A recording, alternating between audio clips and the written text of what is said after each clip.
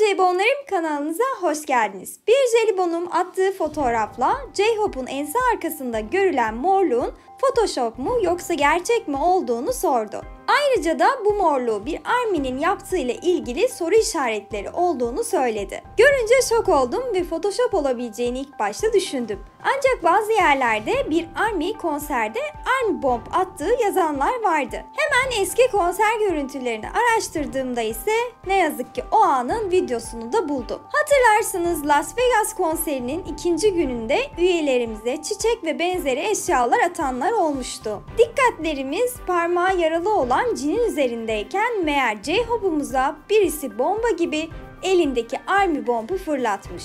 Army Bomb'da sert bir cisim olduğundan ne yazık ki J-Hope'un tam ense arkasında bu morluğa neden olmuş. İçimi acıtan diğer nokta ise gözleri ağlamaklı kızarmış bir halde konser sonunda bile Army sizi seviyorum mesajını atması oldu.